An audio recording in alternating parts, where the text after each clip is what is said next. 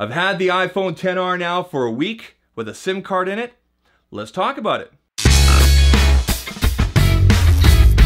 Hey, Zak Pack, welcome back to ZAKtalks TECH, where it's about the community, engagement, and conversation we're having here about the tech that you love.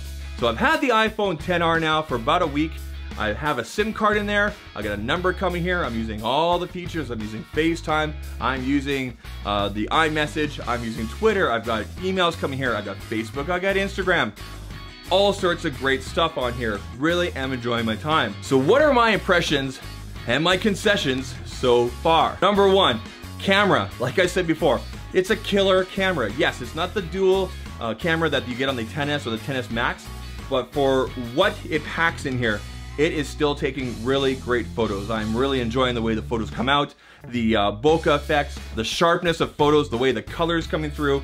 Overall, great camera. I've even used some of the 4K features on here, using it for some of my B-roll for my other videos as well, coming out really, really well. In addition, Face ID has really surprised me. In the past, I've had issues with this, uh, not being able to read my face quick enough, not waking up fast enough, but I've used it with and without my glasses on. It's uh, it's lighting up, it's reading from an angle, from all different angles. I'm I'm impressed. I take it back.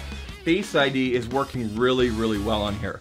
The build quality has been phenomenal. Uh, you know, I'm not too crazy about the glass back here, so I have been using a case. Right now I'm using this blu element case here. You guys saw that in a separate video. I'll leave a link for that up here and also down inside the description. This is a good case right here. It doesn't cost an arm and a leg.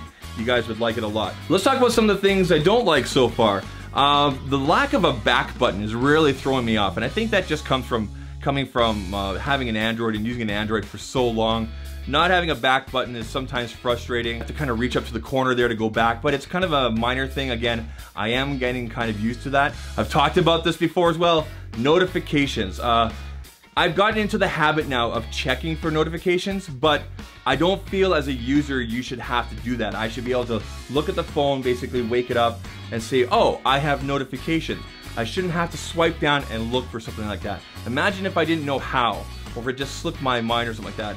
Uh, I might miss, you know, something that, that's important. Luckily, right on the icons, as you guys can see there, there's little ones, twos, numbers basically to indicate messages and things like that I've missed. So that does help as well.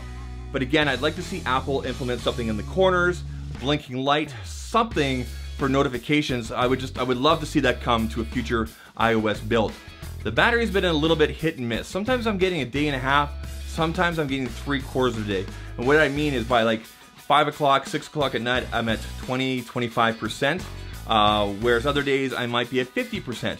I think it all comes down to how much camera I'm using, things like that. Um, again, I will test this a little bit further, but overall, I would say I'm happy with the battery. I'm just not completely sold on it yet. Anyway, guys, that'll do it for my first week here with the iPhone XR. You guys are gonna get 51 more weeks of this every Sunday. Expect an update for me in the evening about the previous week's time with the iPhone XR. Again, make sure you guys are checking out my Instagram and my Twitter, my Facebook for images and videos. I'm always posting stuff there. Make sure you guys are following me there on social media.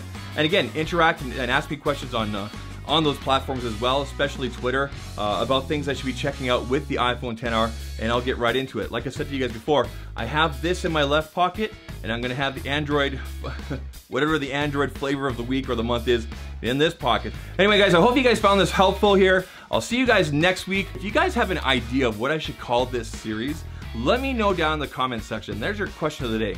What should I call this series? Kind of go through them and we'll, we'll, I'll pick the best one, the one that I, I feel fits the best. Anyway, guys, if you guys like the content here, please leave a thumbs up. Think about hitting that subscribe button as well. Leave me a hashtag ZakPack down in the comment section there. You guys are part of my Zak Pack, and I'm glad you're here. I'll catch you guys in the next one. Take care. Cheers.